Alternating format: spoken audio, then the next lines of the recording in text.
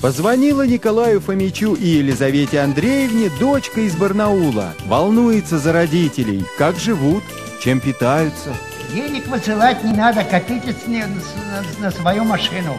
А мать пояснила, Мы следом 4 числа э, снова вложили одну пенсию э, в билеты, и сейчас получаем уже вдвое больше. хороших детей воспитали, не забывают, заботятся.